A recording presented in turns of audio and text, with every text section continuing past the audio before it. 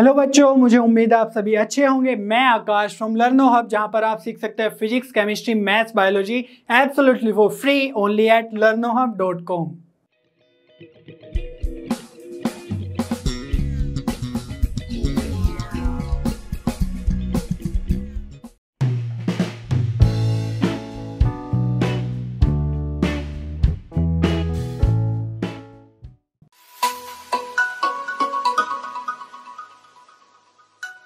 चलिए बच्चों मिसलेनियस का क्वेश्चन नंबर वन सोल्व करते हैं। A and B are two events such that P A probability of A not equal to zero find probability of B by A if और second part two parts है। A is a subset of B and A intersection B is five तो miscellaneous exercise में सारे के सारे mix questions होंगे। तो इसमें इसलिए बहुत इंपॉर्टेंट होता है कि ये एक्सरसाइज आप प्रैक्टिस कर ले ताकि सारे के सारे कंसेप्ट आपके क्लियर हो जाए एक ही एक्सरसाइज में, ठीक है? तो फ़र्स्ट पार्ट है A is a subset of B तो A is a subset of B that means ऐसे लिखते हैं हम A is a subset of B तो ए सबसेट ऑफ़ बी है तो इसको मैं ऐसे डिनोट कर सकता हूँ ना, मान लो ये सेट है सैंपल स्पेस का, या यूनिवर्सल सेट तो यहाँ पर अगर बी है ये तो इसके अंदर होगा कोई ए सेट ठीक है? तो सारे के सारे जो ए के एलिमेंट्स है, वो बी के अंदर होंगे ही होंगे डेफिनेटली तो अगर इनका इंटरसेक्शन लेंगे ए इंटरसेक्शन बी वो कितना आएगा? ए क्योंकि कॉमन एलिमेंट्स बी और ए में के अंदर जो है वो ए के अंदर ही है, ठीक है? तो इसीलिए अगर हम probability of A intersection B लिखें तो वो क्या आएगा? प्रोबेबिलिटी ऑफ़ ए ये मैंने क्यों फाइंड आउट करा? क्योंकि मुझे पता है कि probability of B by A में फॉर्मूला बनता है probability of B intersection A upon probability of A तो जो भी बाय के बाद आता है, वो आता है डिनोमिनेटर में. ठीक है? अब probability of B intersection A और probability of A intersection B एक ही बात है है ना? दोनों का कॉमन पार्ट ही हम कंसिडर करते हैं। तो यहाँ पर इसकी वैल्यू क्या लिख देंगे? प्रोबेबिलिटी ऑफ़ ए और डिनोमिनेटर में भी क्या है? प्रोबेबिलिटी ऑफ़ ए तो ये कैंसिल हो गया, कितना आ जाएगा? वन तो जब प्रोबेब ये फ़र्स्ट पार्ट के लिए when A is a subset of B तो probability of B by A is one ठीक है? अब करते हैं सेकेंड पार्ट तो यहाँ पर देखो A intersection B is five इसका क्या मीनिंग है? कि जो ए और बी है, उनमें कोई भी एलिमेंट कॉमन नहीं है। तो इसलिए जो इनकी प्रोबेबिलिटी होगी probability of A intersection B वो होगी हमारी ज़ीरो ठीक है? क्योंकि नंबर ऑफ़ एलिमेंट्स ही ज़ीरो है उसमें। तो यहाँ पर हम क्या कर सकते हैं? अगेन वही formula probability of B by A probability of B intersection A upon probability of A अब यहाँ पर probability of A intersection B B intersection A क्या हो गई वैल्यू ज़ीरो तो zero upon P of A ठीक है? तो वैल्यू कितनी आ जाएगी? ज़ीरो तो यहाँ पर आ गई वन और यहाँ पर आ गई ज़ीरो ठीक है? चलिए बच्चों क्वेश्चन नंबर टू सोल्व कर लेते हैं। A couple has two children. Find the probability that both children are males if it is known that at least one of the children is male. और second part है find the probability that both children are females if it is known that the elder child is a female. तो यहाँ पर हमें लगानी है conditional probability क्योंकि यहाँ पर कंडीशन गिवन है इफ़ इट इज़ नोन या इसी को बोल सकते हैं both the childrens are males given that at least one of them is one of them of the children is male तो गिवन दैट या इफ़ इट इज़ नॉन तो इसका मतलब है कोई कंडीशन गिवन है ऑलरेडी तो यहाँ पर हम क्या करेंगे? सबसे पहले सैंपल स्पेस लिख लेंगे। तो टू चिल्ड्रन है तो दोनों में से या तो कोई मेल होगा या फीमेल होगा। यही केस पॉसिबल है, ठीक है? तो हम कंसिडर करते हैं कि दोनों के दोनों सपोज़ मेल हो गए, ठीक है? या ऐसा भी हो सकता है कि पहले मेल हो गया, फिर फीमेल हो गई। या ऐसा भी हो सकता है कि पहले फीमेल है और एक मेल है या दोनों फीमेल भी हो सकती हैं तो ये सारे के सारे एलिमेंट्स हो गए हमारे सैंपल स्पेस में फोर एलिमेंट्स ठीक है? तो चलिए फ़र्स्ट पार्ट करते हैं, जो भी कंडीशन गिवन है तो हम यहाँ पर ए और बी इवेंट्स कंसिडर करेंगे तो जो ए इवेंट है find the probability that both the children are male तो ए इवेंट उसको कंसिडर करते हैं जिसकी प्रोबेबिलिटी पूछी जाती है, ठीक है? तो ताकि फॉर्मूला एकदम सटीक बैठ जाए, है ना? तो ए इवेंट क्या हो जाएगा? Both are males both are males तो एक में कौन कौन से एलिमेंट्स आ जाएँगे? Both are males that means दोनों के दोनों एम एम है। ठीक है? तो ये एलिमेंट आ गया एक। अगर हम बी की बात करें तो बी वो होता है इवेंट जिसमें गिवन दैट के बाद। आप कुछ और भी ले सकते हैं बट इससे क्या होता है, आपको याद रहता है कि ए ये है बी ये है तो फॉर्मूला एकदम अच्छे से बैठ जाता है। If it is known means given that at least one of the children is male तो at least one is male ठीक है? तो चलिए, अब लिख लेते हैं बी के अंदर। तो कम से कम एक तो मेल है। तो ये जो एम एम वाला केस है, वो भी आ जाएगा। दो मेल है तो अच्छी बात है। और यहाँ पे एम एफ़ वाला भी आ जाएगा भैया, एक मेल है, और एफ़ एम वाला भी आ जाएगा। लेकिन एफ़ एफ़ वाला नहीं आएगा, क्योंकि उसमें एक भी मेल नहीं है, और बोला गया है कि एटलीस्ट वन इज़ मेल तो ये हमारे केसेस आ गए। अब क्या करना है हमें? हमें पता है probability of A by B क्या होती है? Probability of A given that B has occurred ठीक है? ये सब फॉर्मूलाज और इस तरह के क्वेश्चन हम ऑलरेडी कवर कर चुके हैं तो यहाँ पर हम ज़्यादा डिस्कस नहीं करेंगे डायरेक्टली क्वेश्चन सोल्व करेंगे। तो यहाँ पर आ जाएगा probability of A intersection B upon probability of B ठीक है? और अगर इसी को मैं स्प्लिट करके लिखूं तो क्या लिख सकता हूँ? Number of elements in A intersection B upon number of elements in sample space ठीक है? तो सैंपल स्पेस और यहाँ पे भी सैंपल स्पेस आएगा। चलिए मैं लिख ही देता हूँ। तो number of element in A intersection B number of element in sample space upon probability of B क्या होती है? Number of elements in B upon number of element in sample space तो ये हमारे टर्म्स कैंसिल हो जाएँगे और यहाँ पे फॉर्मूला बचेगा। Number of elements in A intersection B upon number of elements in B ठीक है? तो ये फॉर्मूला आया probability of A given that B has occurred ठीक है? तो यहाँ पर हमें चाहिए ए इंटरसेक्शन बी के एलिमेंट्स कितने हैं? तो ए इंटरसेक्शन बी के लिए हमें क्या करना है? इन दोनों में कॉमन एलिमेंट सर्च करने हैं। तो आप देख सकते हैं कि एक ही एलिमेंट कॉमन है दैट इज़ एम एम ठीक है? तो नंबर ऑफ़ एलिमेंट्स कितने हो गए कॉमन वन तो probability of A by B कितना आ जाएगा? यहाँ पर है one upon number of elements in B कितना है? थ्री। तो ये आ गया है प्रोबेबिलिटी वन बाय थ्री। इतना क्लियर है? अब हम करेंगे सेकेंड पार्ट तो सेकेंड पार्ट में क्या बोल रहा है? चलिए देख लेते हैं। Find the probability that both children are females तो जो ए इवेंट है, वो क्या हो जाएगा? बोथ चिल्ड्रन आर फीमेल्स तो मैं ये अलग से लिखने के बजाय बोथ चिल्ड्रन आर फीमेल्स मैं डायरेक्टली एलिमेंट्स लिख रहा हूँ क्या क्या आएँगे, ठीक है? क्या क्या पॉसिबल हो सकता है। तो बोथ चिल्ड्रन आर फीमेल्स का मीनिंग है एफ़ एफ़ आ जाएगा। करेक्ट तो चलिए लिख लेते हैं एफ़ एफ़ और अगर हम बी की बात करें तो ये क्या है? जो इवेंट हो चुका है that means if it is known या given that the elder child is female ठीक है? तो जो एल्डर चाइल्ड है, वो फीमेल है। तो एल्डर चाइल्ड कौन सा ले लेते हैं? चलो ये ले लेते हैं। पहले वाला जो एल्डर है, ये भी एल्डर है, ये भी एल्डर है और ये भी एल्डर है। ठीक है? तो कौन कौन से केस आएँगे? देखो यहाँ पर तो एल्डर मेल मेल है, लेकिन हमें क्या चाहिए? फीमेल है एल्डर चाइल्ड तो एफ़ एम और एफ़ एफ़ ये दो केस आ जाएँगे हमारे बी के अंदर। और अगर इनका हम इंटरसेक्शन ले ले ए इंटरसेक्शन बी तो कौन सा एलिमेंट आएगा? एफ़ एफ़ का। ठीक है? तो चलिए अब फॉर्मूला लगा लेते हैं। Probability of A by B this will be number of elements in A intersection B upon number of elements in B तो चलिए बताओ मेरे को कितने हैं? तो number of elements in A intersection B तो वन ही है। तो one upon number of elements in B कितने हैं? वन और टू तो ये आ जाएगा one by two probability.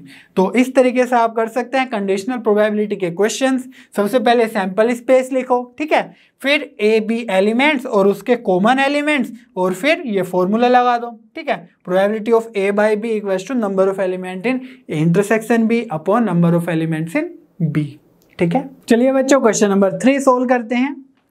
Suppose that 5% of men and 0.25% of women have gray hair a gray haired person is selected at random what is the probability of this person being male assume that there are equal number of males and females ठीक है तो यहाँ पर इस question को मैं frame करता हूँ ये पूछेगा what is the probability of this person being a male given that that selected person is grey haired person ठीक है? तो यहाँ पर हमारा लगेगा बेस थ्योरम। तो यहाँ पर इवेंट सपोज़ हमारा जो E1 है और E2 है, वो क्या होगा? यहाँ पर देखो गिवन है फाइव परसेंट और men and zero point two five percent are women have grey hair तो यहाँ पर मैन और वीमेन की बात हो रही है तो पार्टीशन हो गया है सैंपल स्पेस में। ठीक है? तो या तो मैन होगा या वीमेन होगा। तो इसीलिए हमारे टू इवेंट्स आ गए ई वन और ई टू तो ई वन क्या है? सपोज़ मैन को सेलेक्ट करना है तो इवन वो जो मैन को सेलेक्ट करने का इवेंट हो गया इवन और वीमेन को सेलेक्ट करने का इवेंट है सपोज़ ई टू और एक इवेंट ले लेते हैं ए तो ए इवेंट है person selecting a person having grey hair तो मैं लिख देता हूँ ग्रे हेयर्ड पर्सन ठीक है? चलिए अब हमसे बोला गया है assume that there are equal number of males and females तो जब दोनों इक्वल हैं तो उनको उनकी जो प्रोबेबिलिटी हो जाएगी सेलेक्ट करने की means probability of E one और प्रोबेबिलिटी ऑफ़ ई टू वो भी इक्वल इक्वल होगी। ठीक है? तो टोटल प्रोबेबिलिटी तो वन तो ऐसे भी ले सकते हो one by two one by two या ऐसे ले सकते हो, मान लो कि ये भी एक्स है और ये भी एक्स है equal number of male and female है तो टोटल कितने हो गए टू एक्स तो एक्स को सेलेक्ट करने की मीन्स मेल को सेलेक्ट करने की आउट ऑफ़ टू एक्स तो कितने हो जाएगी? वो भी वन बाई टू हो जाएगी। तो इनकी प्रोबेबिलिटी आ जाएगी वन बाई टू क्योंकि मेल और फीमेल इक्वल है। ठीक है, अब हमसे पूछा क्या गया है? What is the probability of this person being male तो प्रोबेबिलिटी मेल है that means E one probability of E one given that it is he is a या ही और she is a grey haired person ठीक है? Given that this is a grey hair person means A ठीक है? तो यहाँ पर हम फॉर्मूला लगा देंगे. Probability of A by E one probability of E one है ना? कुछ नहीं करना है. इनको उल्टा लिखना है. यहाँ पे इवन बाई ए है. यहाँ पर ए बाई इवन है. और जो नीचे है उसी से मल्टीप्लाई और यहाँ पर टू पार्टीशन हो रहे हैं। एक तो ई e वन का और एक ई e टू का दैट मीन्स मैन और वीमेन का। तो यहाँ पर दो एलिमेंट से आएँगे नीचे। Probability of A by E one probability of E one plus probability of A by E two into probability of E two तो ये आ जाएँगे। अब हमें क्या चाहिए? ई e वन और ई टू की प्रोबेबिलिटी तो है हमारे पास, लेकिन probability of A by E one नहीं है। Probability of a grey haired person given that it is a male ठीक है? तो मेल है तो उसके लिए क्या दिया हुआ है? या मैन है तो उसके लिए दिया हुआ है five percent that means five upon hundred और probability of A by E two women के ग्रे हेयर होने की प्रोबेबिलिटी क्या है? Zero point two five percent तो ये हमारी प्रोबेबिलिटीज आ गई। अब ये सारे के सारे वैल्यूज़ पुट कर देते हैं। ओके तो ए बाई ई वन क्या है? Five by hundred into probability of A one है वन बाई टू और यहाँ पर भी कितना आ जाएगा? Five by hundred into one by two क्योंकि सेम ही टर्म है ये भी, है ना? Plus probability of A by E two वो कितनी है? Zero point two five by hundred into probability of E two is again one by two अब देखो यहाँ पर ऊपर भी वन बाई टू है, और यहाँ से भी हम वन बाई टू कॉमन ले सकते हैं तो उनको कैंसिल हो कर देंगे है ना? और यहाँ पर भी हंड्रेड हंड्रेड हंड्रेड तो ये भी कॉमन ले सकते हैं। तो चलिए मैं कॉमन ले रहा हूँ क्या क्या वन बाय टू हंड्रेड ऊपर से तो यहाँ पे क्या बचेगा? फाइव बचेगा सिंपली और नीचे से भी क्या ले ले, ले लेता हूँ? One by two hundred common तो यहाँ पर क्या बचेगा? फाइव बचेगा और सेकेंड टर्म से क्या बचेगा? वन बाय टू हंड्रेड तो कॉमन आ गया है तो बचेगा five zero point two five ठीक है? अब ये टर्म्स हमारे कैंसिल हो जाएँगे और ये आ जाएगा five upon five point two five ठीक है, इसको फर्दर भी सोल्व कर सकते हैं।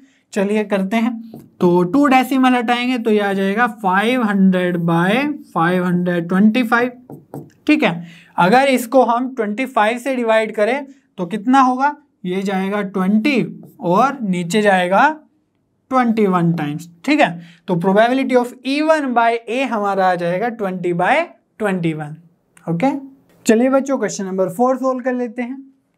Suppose that 90% of people are right handed what is the probability that at most six of a random sample space of ten people are right handed तो यहाँ पर देखो एटमोस्ट सिक्स दिया हुआ है तो और यहाँ पर टेन का सैंपल स्पेस है है ना? और सिक्स एटमोस्ट होना चाहिए रैंडम राइट हैंडेड तो इसलिए हम बोल सकते हैं कि यहाँ पे बर्नोली ट्रायल्स और बाइनोमियल डिस्ट्रीब्यूशन का कंसेप्ट लेंगे। तो यहाँ पर जो एन होगा ten people are right handed है ना? ये सैंपल स्पेस है। तो ये हो जाएगा हमारा एन और अगर हम पी की बात करें दैट इज़ सक्सेस की बात करें प्रोबेबिलिटी ऑफ़ सक्सेस तो सक्सेस हमारी यहाँ पे राइट हैंडेड होना चाहिए पर्सन तो उसकी प्रोबेबिलिटी कितनी दी हुई है? 90 percent of the people are right handed that means 90 by 100 या इसी को लिख सकते हैं 0.9 और अगर प्रोबेबिलिटी ऑफ़ फेलियर की बात करें जो लेफ़्ट हैंडेड है, वो कितना होगा? 10 बाय 100 ठीक है? या इसी को हम ऐसे भी लिख सकते हैं one minus zero point nine तो वो भी कितना आएगा? ज़ीरो पॉइंट वन तो यहाँ से भी वैल्यू कितनी आ जाएगी? ज़ीरो पॉइंट वन ठीक है? क्यू को हम वन माइनस पी भी लिख सकते हैं तो one minus zero point nine, ये भी कितना होगा? वन ज़ीरो पॉइंट वन, ठीक है? अब बात करते हैं फॉर्मूला की तो probability of X equal to small X क्या होता है? एन सी एक्स पी की पावर एक्स और क्यू की पावर एन माइनस एक्स ठीक है? तो ये वाला फॉर्मूला हम इसमें यूज़ कर लेंगे। अब हमसे बोला गया है कि what is the probability that at most six of the people of the random sample space of ten people are right handed तो एट मोस्ट सिक्स की बात हो रही है दैट मीन्स सिक्स के इक्वल या सिक्स से कम, उसमें काम हो जाएगा, ठीक है? तो अगर हमें सिक्स या सिक्स से कम चाहिए तो इसको हम टोटल प्रोबेबिलिटी में से सिक्स से जो ग्रेटर है है ना, उसको माइनस कर देंगे तो एक ही बात होगी, ठीक है? अब यहाँ पर हम लिख सकते हैं one minus probability of x equals to seven plus probability of x equals to eight plus probability of x equals to nine plus probability of x equals to ten. ठीक है? तो इन सब में इंडिविजुअली ये फॉर्मूला हम लगा देंगे और हमारा आंसर आ जाएगा। या फिर इसको ऐसे भी कर सकते हैं। वन माइनस ठीक है? अब यहाँ पर देखो, ये जो टर्म है, इसी में हम अगर सेवन रखेंगे तो एक्स इक्वस टू सेवन आ जाएगा। फिर अगर एट रखेंगे तो एक्स इक्वस टू एट आ जाएगा। है ना? नाइन रखेंगे स्मॉल एक्स तो एक्स इक्वस टू नाइन की वैल्यू और टेन की वैल्यू ऐसे आ जाएगी। तो अगर हमें ये सब का एक साथ चाहिए, है ना, एक यूनिफाइड वर्जन तो हम लिख सकते हैं सिग्मा लगा के। सिग्मा लगा के क्या लिख सकते हैं? एक्स की जगह सपोज़ आर ले लो। आर इक्वस टू सेवन से स्टार्ट हो रहा है ना तो सेवन से टेन तक वैल्यूज़ तो सारे के सारे केसेस सिग्मा के अंदर कवर हो जाएँगे, क्योंकि सब ऐड ही हो रहा है। करेक्ट तो यहाँ पर आएगा एन सी आर तो यही फॉर्मूला लगाना है, बस आर वेरिएबल है यहाँ पर। ठीक है? तो एन सी आर पी की power r that means p क्या है हमारा? ज़ीरो पॉइंट नाइन तो चलो ज़ीरो पॉइंट नाइन की पावर आर और क्यू कितना है? ज़ीरो पॉइंट वन और एन माइनस आर ठीक है? और यहाँ पर हम एन भी पुट कर सकते हैं। एन कितना है? टेन है। तो चलिए मैं कर देता हूँ probability of x less than और equal to six one minus sigma r equal to seven to ten that means n तक। तो ten C r zero point nine की पावर आर और ज़ीरो पॉइंट वन की power ten minus are ठीक है? तो अगर ये वैल्यूज़ में आप आर की वैल्यू पुट करते जाएँगे सेवन और फिर सिग्मा के साथ एडिशन के साथ करेंगे एट फिर नाइन और टेन तो ये सारी की सारी वैल्यूज़ ही आ जाएगी, ठीक है? तो आप इस तरीके से भी अपना आंसर शो कर सकते हैं बजाय पूरा का पूरा सोल्व करने के, ठीक है?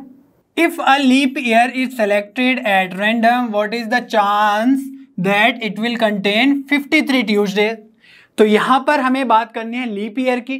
नॉर्मल ईयर में कितने डेज़ होते हैं? 365 लेकिन लीप ईयर में होते हैं 366 तो अगर 366 को हम सेवन से डिवाइड करें तो यह आ जाएगा 52 two two by seven that means जो 52 वीक्स है है ना? तो 52 तो वीक्स हो जाएँगे, और जो ये टू है, ये जो टू डेज़ है, वो एक्स्ट्रा डेज़ होंगे।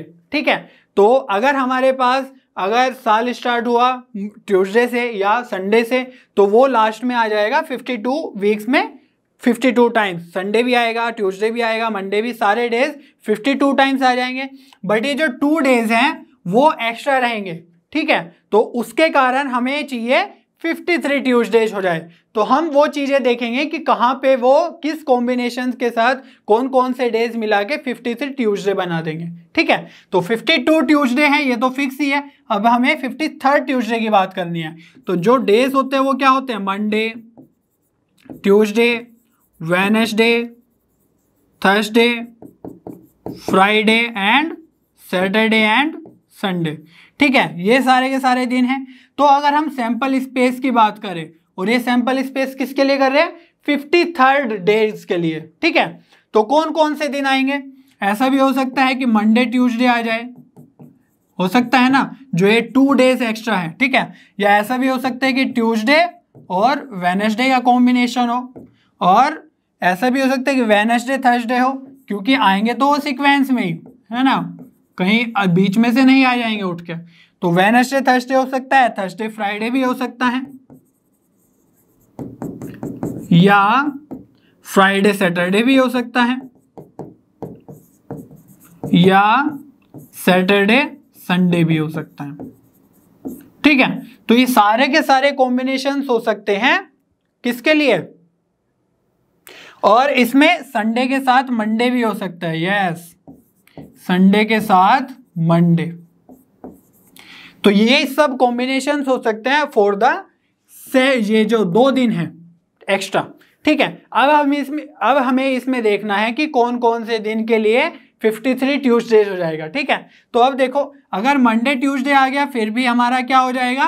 52 तो ऑलरेडी ट्यूसडेज है 52 और ये हो जाएगा 53 और इसके लिए भी हो जाएगा 53 ट्यूसडेज ठीक है? तो अगर हम प्रोबेबिलिटी फाइंड आउट करें फॉर 53 ट्यूजडेज तो ये क्या आएगा? जो हमारे फेवरेबल एलिमेंट्स है वो क्या है? मंडे ट्यूसडे ट्यूसडे वेनसडे तो वन टू और टोटल कितने one two three four five six seven तो ये हो जाएगा टू बाय सेवन ठीक है?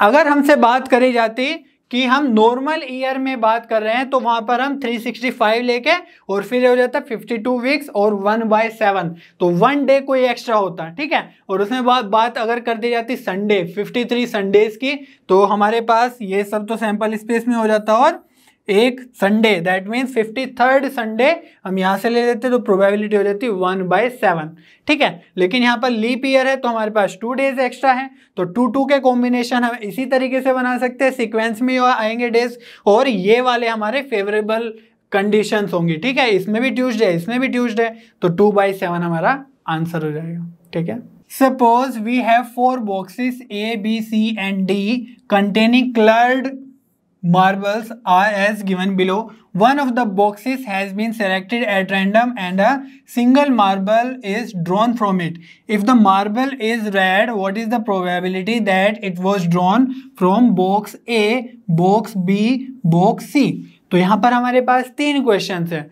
कि अगर वो रेड था तो बॉक्स ए से निकलने की प्रोबेबिलिटी क्या होगी? बॉक्स बी से निकलने की प्रोबेबिलिटी क्या होगी या बॉक्स सी से निकालने की प्रोबेबिलिटी क्या होगी? ठीक है? तो यहाँ पर इसमें बेस थ्योरम लगेगा क्योंकि यहाँ पे हमें पता है कि बॉक्स फोर बॉक्सिस है तो यहाँ पर जो पार्टीशन है वो हो जाएगा।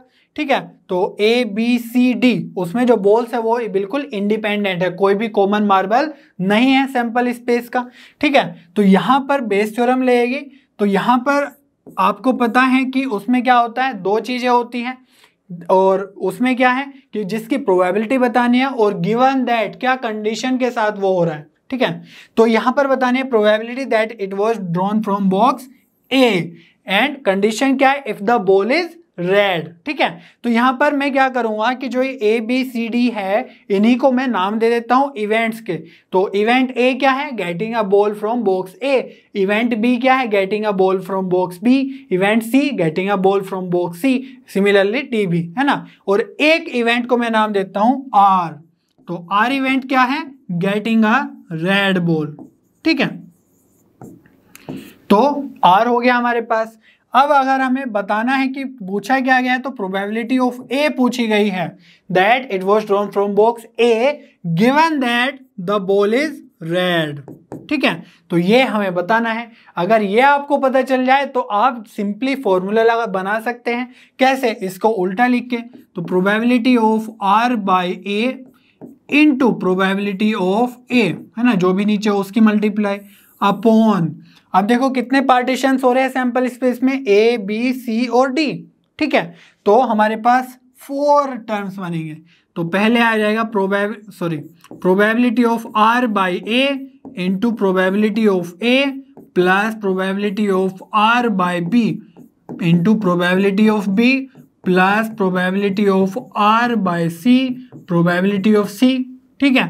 Plus probability of R by D into probability of D तो यहाँ पर देखो अब ये चार केसेस बन गए मीन्स चार टर्म्स आ गए यहाँ पर। अब इनकी वैल्यूज़ हमें पता होनी चाहिए करेक्ट तो probability of A probability of B C and D पता होनी चाहिए। तो ये क्या है? ये है probability of choosing a boxes ठीक है? तो सबसे पहले क्या गिवन होता है? One of the boxes has been selected at random तो पहले बॉक्स को सेलेक्ट करना होता है, ठीक है? तो बॉक्स को चूज़ करने की प्रोबेबिलिटी क्या होगी? हमें पता है चार ही बॉक्स है है ना? तो प्रोबेबिलिटी ऑफ़ चूजिंग ए क्या हो जाएगी? सोचो वन बाई फोर है ना? चार में से कोई एक चूज़ करना है।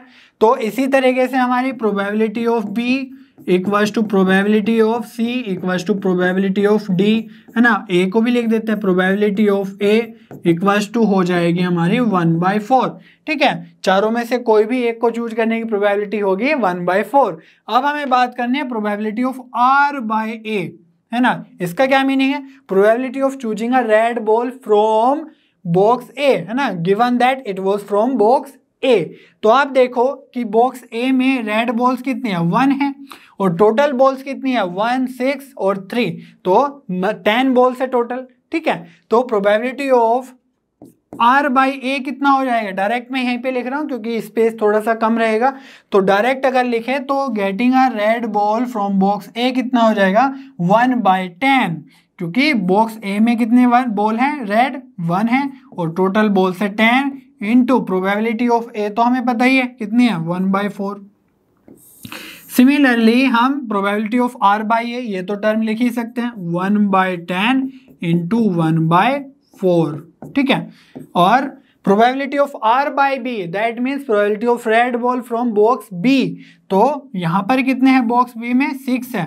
और टोटल बॉल्स कितनी है? अगेन यहाँ पर भी टेन है, अगर आप ऐड करें, ठीक है? तो ये आ जाएगा six by ten probability of R by B into probability of getting B या choosing B that is one by four again अब देखेंगे probability of R by C तो R by C that means red ball in six box means C box तो यहाँ पर है eight one और one तो टेन बॉल्स है और रेड बॉल है एट तो यहाँ पर हम लिख सकते हैं eight by ten into probability of C हो जाएगी one by four plus probability of R by D that means red ball in D box तो यहाँ पर देखो प्रोबेबिलिटी कितनी हो जाएगी? ज़ीरो हो जाएगी रेड बॉल की, क्योंकि एक भी रेड बॉल नहीं है है ना? और ये टर्म भी मल्टीप्लाई होगा तो ज़ीरो ही होगा। तो फ़र्क नहीं पड़ता है। तो हमारे पास ही अल्टीमेटली थ्री टर्म्स बचे नीचे। लेकिन आप देखोगे कि one by four one by four one by four सभी में है। तो वन बाई फोर कॉमन लेकर हम कैंसिल कर सकते हैं, या नहीं? और यहाँ पर टेन भी है नीचे तो टेन को भी ले लेते हैं। तो ले लेते हैं हम कितना कॉमन वन बाय फोर्टी तो न्यूमरेटर में से वन बाय फोर्टी ले लिया तो यहाँ पर तो वन ही बचेगा। ठीक है, सारा का सारा ही कॉमन ले लिया। और डिनोमिनेटर में अगर हम बात करें तो यहाँ से आ गया है वन बाय फोर्टी तीनों टर्म में से। तो फ़र्स्ट टर्म में बचा वन सेकेंड टर्म में कितना बचेगा? One by forty. तो यहाँ से बचेगा कितना? Six plus. यहाँ से वन बाय फोर्टी ले लिया तो यहाँ से बच जाएगा एट। तो one by forty, one by forty cancel तो यहाँ पर बचा one upon eight six fourteen plus one sixteen तो वन बाय फिफ्टीन हो जाएगी हमारी probability of A by R इतना क्लियर है? अब हमसे पूछा गया है कि बॉक्स बी से अगर वो आया, तब क्या होगा?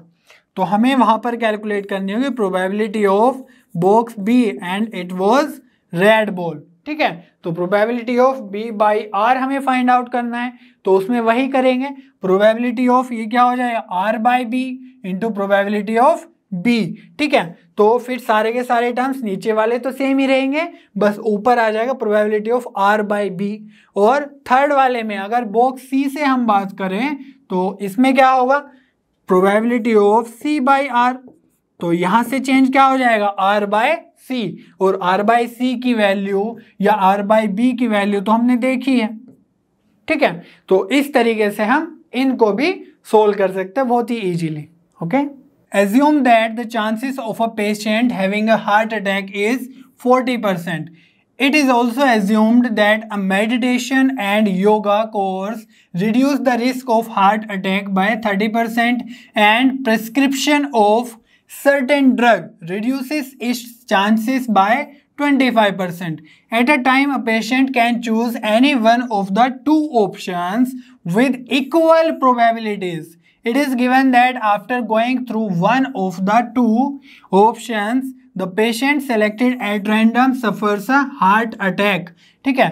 Find the probability that the patient followed a course of meditation and yoga तो यहाँ पर दो तरह के लोग हैं, है ना? या तो मेडिटेशन एंड योगा फॉलो कर रहे हैं या सर्टेन ड्रग ले रहे हैं, ठीक है? तो ये जो दो इवेंट्स है, उसको मैं मान ले रहा हूँ E one and E two ठीक है?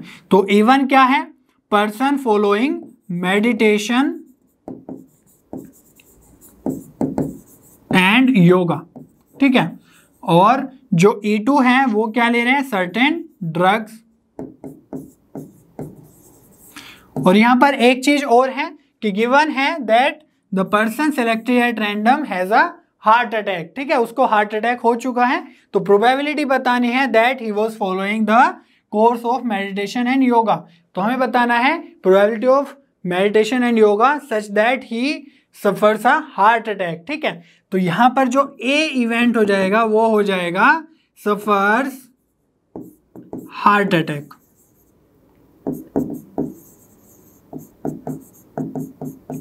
ठीक है? तो यहाँ से हमसे जो पूछा गया, वो मैं लिख देता हूँ probability of meditation and yoga है ना?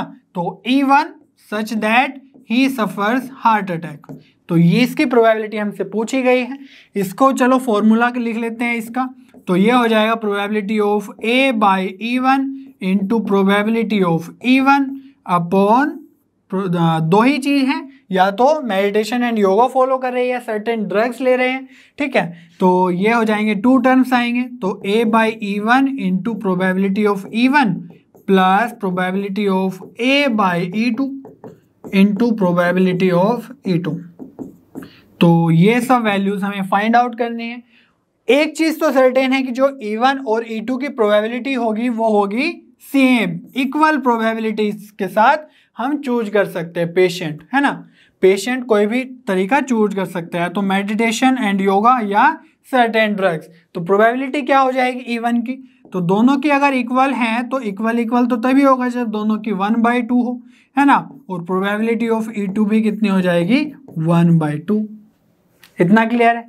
अब बात करते हैं probability of A by E one और ए बाई ई टू की। That means person suffers heart attack when he was following meditation and yoga तो अगर इसकी बात करें तो probability of A by E one ठीक है? तो हमें पता है कि गिवन है कि patient having a heart attack is 40 percent तो इतने परसेंट लोग हार्ट अटैक से सफ़र कर रहे हैं, इतना चांसेस है।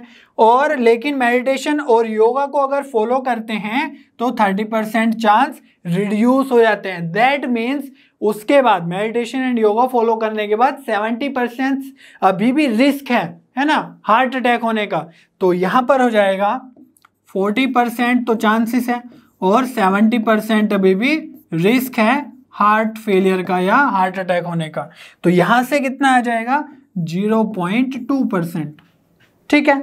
अब देखो probability of A by E two कितनी आएगी? वो तो यही रहेगी। फोर्टी बाय वन हंड्रेड तो चांसेस है हार्ट अटैक का। लेकिन सर्टेन ड्रग लेके क्या होता है कि ट्वेंटी फाइव परसेंट रिड्यूस हो जाता है रिस्क तो रिस्क कितना बचा? सेवेंटी फाइव परसेंट अभी भी रिस्क है हार्ट अटैक होने का। है ना? तो seventy five by one hundred. तो ये कितना आ जाएगा? फोर से मल्टीप्लाई करेंगे तो ये आ जाएगा थ्री हंड्रेड या ज़ीरो पॉइंट थ्री ज़ीरो। है ना? हंड्रेड से भी डिवाइड होंगे। तो ये सब वैल्यूज़ इसमें पुट कर देते हैं और आंसर आ जाएगा। चलिए करते हैं। तो probability of A by E one कितना है अपना? Zero point two eight into probability of E one है one by two and probability of A by E one ये तो यही लिख देंगे। Zero point two eight one by two plus probability of A by E two तो A by E two कितना है? Zero point three zero तो zero point three zero plus probability of E two sorry multiply होगा probability of E two तो one by two यहाँ पर भी है दोनों टर्म्स में और ऊपर भी है। तो कॉमन लेकर कैंसिल कर देंगे। करेक्ट तो ऊपर बचेगा ज़ीरो पॉइंट टू एट और नीचे बचेगा zero point two eight plus zero point three zero. तो यहाँ से आ जाएगा zero point two eight upon, इनको ऐड करेंगे तो ये आ जाएगा ज़ीरो पॉइंट फाइव एट, है ना? डेसिमल हटाएँगे तो twenty eight by fifty eight. अब क्या कर सकते हैं? टू से डिवाइड कर सकते हैं दोनों को ऊपर नीचे तो ये आ जाएगा फोर्टीन बाय ट्वेंटी नाइन। ठीक है? तो ये प्रोबेबिलिटी है ऑफ़ इवन बाय ए की। तो इस तरीके से आप सोल्व कर सकते हैं question in each element of a second order determinant is either zero or one what is the probability that the value of the determinant is positive assume that the individual entries of the determinant are chosen independently each value being assumed with probability one by two तो यहाँ पर second order determinant की क्या probability होगी कि positive number आ जाए? Means determinant की पॉजिटिव वैल्यूज़ आ जाए, ठीक है? तो यहाँ पर अगर हम, और यहाँ पर ये भी कंडीशन है कि नंबर होना चाहिए आइदर ज़ीरो और वन ठीक है? तो डिटर्मिनाट अगर सेकेंड ऑर्डर का ले लें सपोज़ इसमें सारे में वन वन वन है, ठीक है? तो इसकी वैल्यू कितनी आएगी? देखो one into one minus one into one तो वैल्यू आ जाएगी ज़ीरो तो ये हमारा फेवरेबल आउटकम में नहीं होगा बट ये सैंपल स्पेस में आएगा, ठीक है? क्योंकि इसकी एंट्रीज क्या है? वन वन वन तो यहाँ पर अगर हम बात करें कि सारी की सारी वैल्यूज़ क्या हो गई? ज़ीरो हो गई, है ना? एक भी वन नहीं है। तो एक्सट्रीम केसेस हम ले रहे हैं दोनों के? तो यहाँ पर भी कितनी आ जाएगी वैल्यू ज़ीरो ठीक है? तो ये तो हमारे केस सब हो गए जब वन वन वन चारों बार हैं और यहाँ पर ज़ीरो चार बार हैं।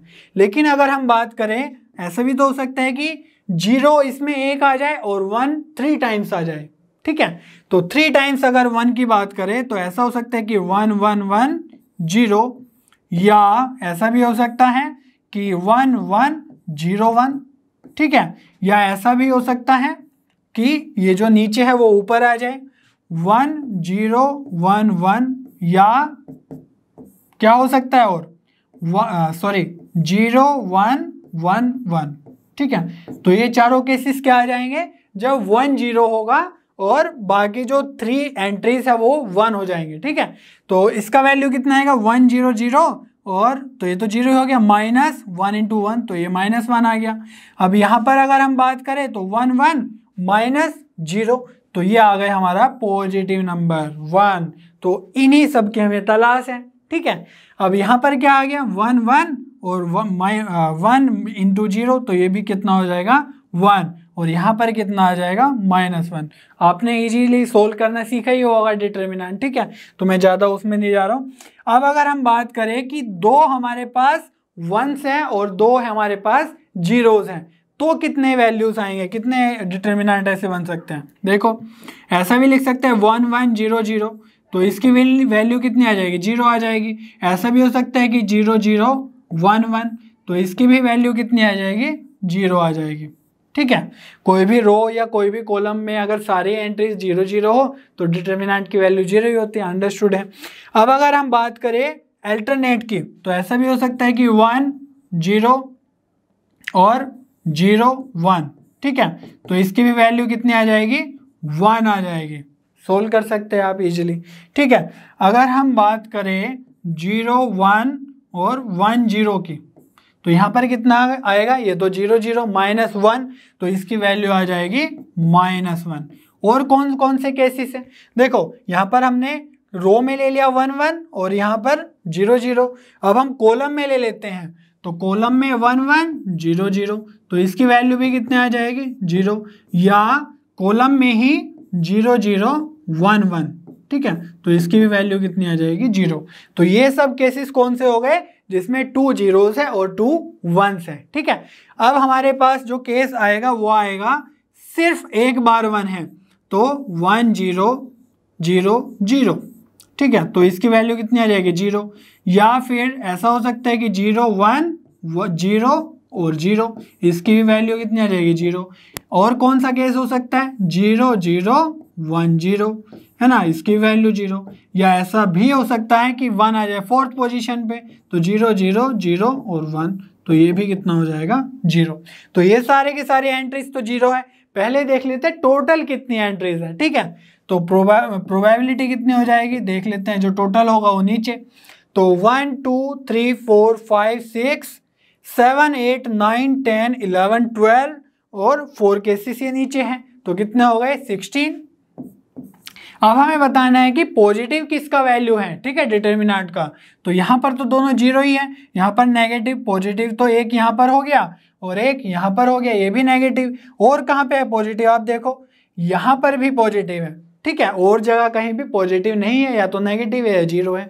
तो वन वन और वन तो थ्री केसेस ऐसे हैं जहाँ पर वैल्यू पॉजिटिव है डिटर्मिनेंट की। ठीक है तो प्रोबेबिलिटी क्या हो जाएगी? थ्री बाय सिक्सटीन तो इस तरीके से आप सारे के सारे केसेस कंसिडर करके आंसर कर सकते हैं okay an electronic assembly consist of two subsystems say A and B from previous testing procedures the following probabilities are assumed to be known probability of A fails ठीक है? तो इसको मैं लिख देता हूँ प्रोबेबिलिटी ऑफ़ ए ठीक है? फेल होने की चीज़ों को हम डायरेक्ट लिख रहे हैं, ठीक है? तो probability of B fails alone तो इसको क्या लिख सकते हैं? प्रोबेबिलिटी ऑफ़ है ना? दो ही चीज़ है, या तो ए है या बी है। तो यहाँ पर लिख सकते हैं बी फेल हो गया है इंटरसेक्शन ए फेल नहीं हुआ है। ठीक है? बी फेल्स अलोन सिर्फ़ बी फेल हो रहा है, ठीक है? तो यहाँ पे आएगा इंटरसेक्शन ए कॉम्प्लीमेंट तो ये हो गया। और अगर हम बात करें B probability of A and B fail तो इसको क्या लिख सकते हैं? Probability of A intersection B है ना? ए भी फेल एंड बी भी फेल तो ये भी हम लिख सकते हैं। चलो थोड़ा probability of B intersection A की बात करते हैं, ठीक है? तो अगर हम सेट थ्योरी में थोड़ा सा देखें तो हमें पता है वैन डायग्राम्स में कि जैसे ये ए है और ये सपोज़ बी है तो बी इंटरसेक्शन ए को हम कैसे रिप्रेजेंट कर सकते हैं इन अदर टर्म्स तो बी ये है और ए ये है। तो ए का कॉम्प्लीमेंट हमें चाहिए। दैट मीन्स ए के बाहर के सारे के सारे एलिमेंट्स ठीक है? तो उसमें इसके बाहर के सारे के सारे एलिमेंट्स और उसका अगर हम बी के साथ कॉमन ले तो ये वाला एरिया हमारा आएगा, ठीक है? तो probability of B intersection A complement that means इतने पोर्शन की बात करी जा रही है। और इतने पोर्शन को हम डिफरेंट वे में कैसे रिप्रेजेंट कर सकते हैं? अब देखो इसको हम लिख सकते हैं टोटल प्रोबेबिलिटी ऑफ़ बी ठीक है? ये जो टोटल बी वैन डायग्राम में ये सर्कल है तो ये क्या हो जाएगा प्रोबेबिलिटी ऑफ़ बी लेकिन इसमें से ये वाला पोर्शन जो नहीं आ रहा है, इस पोर्शन को क्या बोलते हैं हम? ए इंटरसेक्शन बी तो यहाँ से कर सकते हैं minus probability of A intersection B समझ में आ रही है बात? तो ये क्या हो जाएगा हमारा probability of B intersection A complement ठीक है? That means probability of B minus probability of A intersection B और हमें प्रोबेबिलिटी ऑफ़ बी अगर फाइंड आउट करनी है तो यहाँ पर क्या है? Probability of B intersection A given है zero point five sorry zero point one five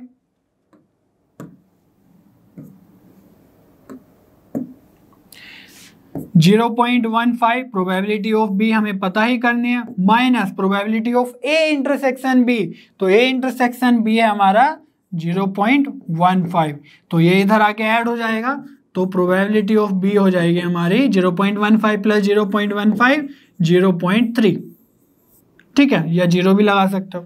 तो ये आ गई प्रोबेबिलिटी ऑफ़ बी हमारे पास प्रोबेबिलिटी ऑफ़ ए भी है। चलिए पार्ट करते हैं।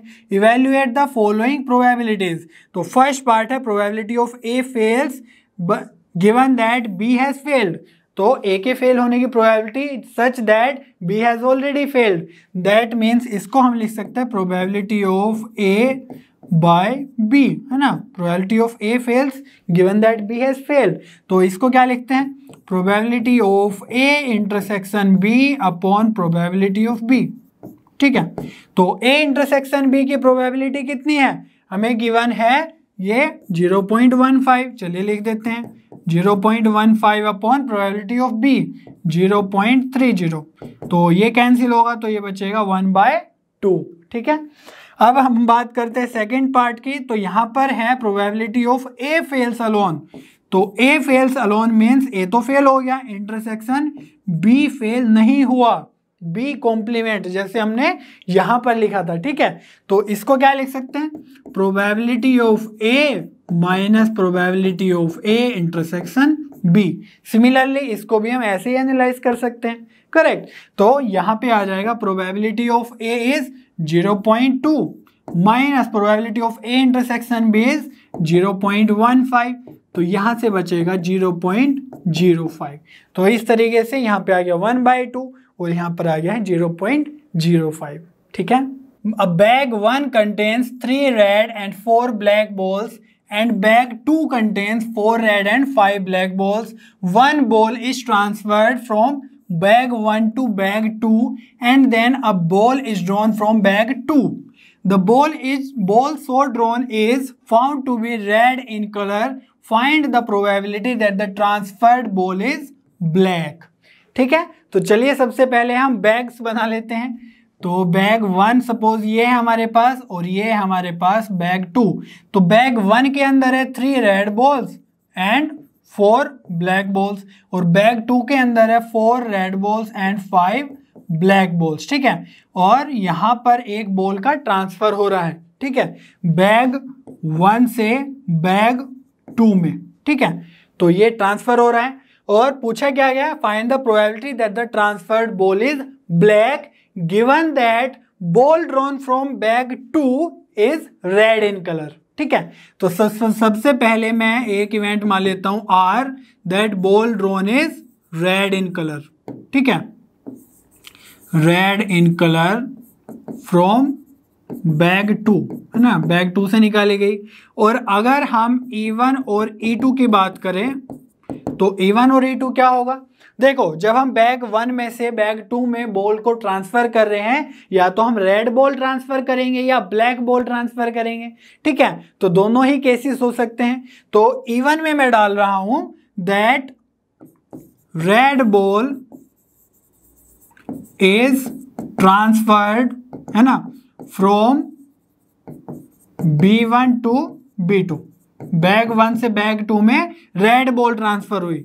या इवेंट ई टू में डाल देते हैं। Black ball is transfer from bag one to bag two ठीक है? अब हमसे पूछा क्या गया है? Probability of transferred ball is black ठीक है? तो transferred ball is black that means E two probability of E two such that red ball from bag two was drawn तो probability of E two by R और इसका formula क्या हो जाएगा? Probability of R by E two into probability of E two upon probability of R by E one into probability of E one plus probability of R by E two into probability of E two ठीक है? चलिए। अब ये सारे के सारे values हम find करेंगे। तो प्रोबेबिलिटी ऑफ़ ई वन और ई टू तो ई वन इवेंट क्या है? That red ball is transferred from bag one to bag two तो बैग वन में रेड बॉल्स कितनी है जो हम ट्रांसफ़र कर सकते हैं? उसकी प्रोबेबिलिटी चाहिए, ठीक है? तो प्रोबेबिलिटी ऑफ़ ई वन कितनी हो जाएगी? यहाँ पर देखो थ्री बॉल्स ही है रेड और टोटल बॉल्स है बैग वन में सेवन तो प्रोबेबिलिटी ऑफ़ ई वन हो जाएगी थ्री बाई सेवन सिमिलरली अगर प्रोबेबिलिटी ऑफ़ ई टू की बात करें तो ये क्या है? Black ball is transferred that means four balls में से कोई भी एक ट्रांसफ़र हुई होगी, ठीक है? तो ये हो जाएगा फोर बाय सेवन अब अगर हम बात करें probability of R by E two और आर बाई ई वन की तो ये भी तो चाहिए।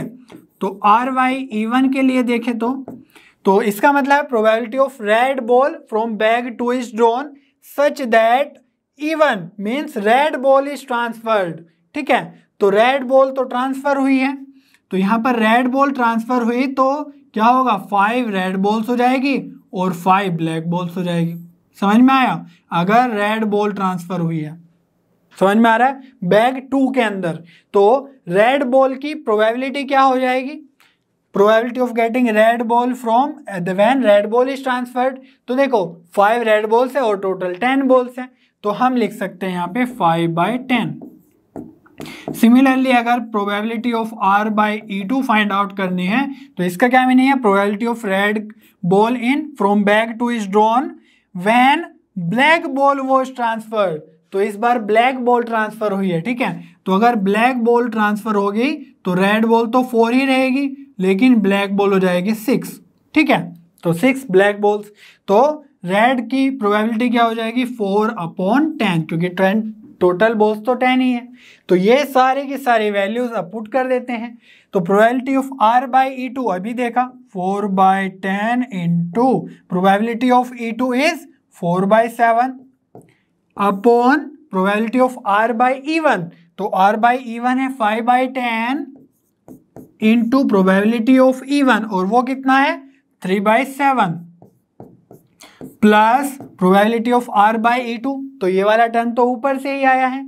तो चलिए लिख देते हैं four by ten into four by seven अब इसको थोड़ा सोल्व कर लेंगे। अब देखो, जो डिनोमिनेटर्स है, उसमें क्या है? टेन इंटू सेवन का मल्टीप्लीकेशन है। तो वन बाई सेवेंटी हम कॉमन ले सकते हैं। करेक्ट तो ऊपर आ जाएगा वन बाई सेवेंटी कॉमन, और यहाँ से कितना बचा? सिक्सटीन। और नीचे क्या बचा? वन बाई सेवेंटी, और यहाँ पे आ गया फिफ्टीन प्लस सिक्सटीन। तो वन बाई सेवेंटी कैंसिल तो यहाँ पे बच जाएगा सिक्सटीन अपॉन, और ये कितना आ जाएगा?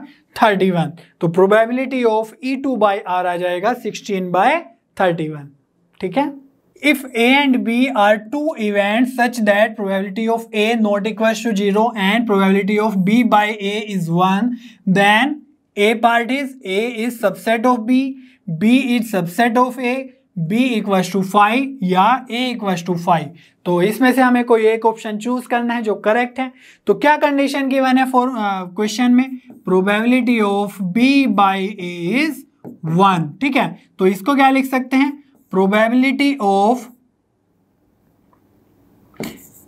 A intersection B upon probability of A ठीक है, जो डिनोमिनेटर में है, वो बाद में, जो बाई के बाद है, वो डिनोमिनेटर में आएगा इक्वस टू वन तो मल्टीप्लाई होगी तो ये आ जाएगा probability of A intersection B equals to probability of A ठीक है तो प्रोबेबिलिटी अगर सेम है तो इसके नंबर ऑफ़ एलिमेंट्स भी सेम हो गए तो हम लिख सकते हैं A intersection B is A और ऐसा कब होता है? A intersection B means common elements in A and common elements in B दोनों में जो कॉमन एलिमेंट्स है तो वो आ गया हमारा ए तो ये केस होने के लिए इस तरह का कुछ होना होगा। सपोज़ ये बी सेट है है ना? और उसके अंदर है कोई ए है ना? तो दोनों के कॉमन एलिमेंट्स हो जाएँगे। ये ए इंटरसेक्शन भी ए ही आ जाएगा। तो इसके लिए हम बोल सकते हैं A is subset of B तभी तो होगा, जब दोनों ये इसके अंदर है बी के अंदर तो इसके सबसेट क्या हो जाएगा? Means A is subset of B तो हमारा आंसर आ जाएगा ऑप्शन ए ठीक है? If probability of A by B is greater than probability of A then which of the following is correct तो क्या इंफॉर्मेशन गिवन है? Probability of A by B is greater than probability of A और यहाँ पर आप देखो तो सारे के सारे ग्रेटर देन लेस देन वगैरह ही है। यहाँ पर इक्वेलिटी का भी साइन है। तो चलिए इसको थोड़ा सिंप्लीफाई करते हैं। तो यह आ जाएगा probability of A intersection B upon probability of B greater than probability of A ठीक है? अब इसको इधर ले जाएँगे और इसको इधर ले जाएँगे। तो क्या होगा उससे फ़ायदा देखते हैं। Probability of A intersection B ये हो जाएगा प्रोबेबिलिटी ऑफ़ ए है ना? ए इधर आ गया। और मल्टीप्लाई में उधर जाएगा प्रोबेबिलिटी ऑफ़ बी ठीक है? तो यहाँ पर देखो, अगर आप इसको भी कंसिडर कर सकते हैं that probability of A intersection B और इसकी मल्टीप्लाई प्रोबेबिलिटी ऑफ़ बी की मल्टीप्लाई कर दे उधर तो ये आ जाएगा probability of A into probability of B ठीक है? तो ये ऑप्शन भी कुछ कुछ दिख रहा है बी पार्ट में, है ना? पी ए पी बी लेकिन यहाँ पर जो साइन है वो डिफरेंट है। तो ये ऑप्शन हमारा गलत हो जाएगा। करेक्ट तो यहाँ पे क्या आ जाएगा? इसको लिख सकते हैं probability of B by A क्योंकि यहाँ पर नीचे क्या है? प्रोबेबिलिटी ऑफ़ ए तो ये बाई के बाद आएगा। और probability of A intersection B और बी इंटरसेक्शन ए एक ही बात होती है। तो यहाँ से आ जाएगा probability of B by A is probability of B ठीक है? तो ये जो है probability of B by A is equal to probability of B ये भी रॉन्ग हो जाएगा क्योंकि यहाँ पर ग्रेटर देन का साइन है और यहाँ पर लेस देन का साइन है तो ये भी गलत हो जाएगा। Probability of B by A is greater than probability of B ठीक है? If A and B are any two event such that probability of A plus probability of B minus probability of A and B equal to probability of A then इसमें से हमें कोई choose करना है। तो चलिए ये सारे इक्वेशन पुट कर देते हैं, जो भी कंडीशन गिवन है। P A P B minus probability of A and B इसका मीनिंग है probability of A intersection B equal to probability of A तो ये ही हमने लिख लिया है, ठीक है?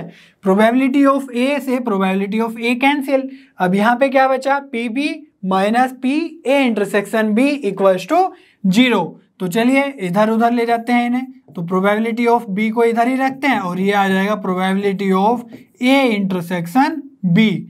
अब देखो यहाँ पर सारे के सारे जो है कंडीशनल प्रोबेबिलिटी की चीज़ें दी हुई है तो इसीलिए मैं प्रोबेबिलिटी ऑफ़ बी को उधर ले जाऊँगा तो यहाँ पे बच जाएगा वन है ना? डिवाइड में ले जा रहा हूँ। तो probability of A intersection B upon probability of B और ये किसका फॉर्मूला है?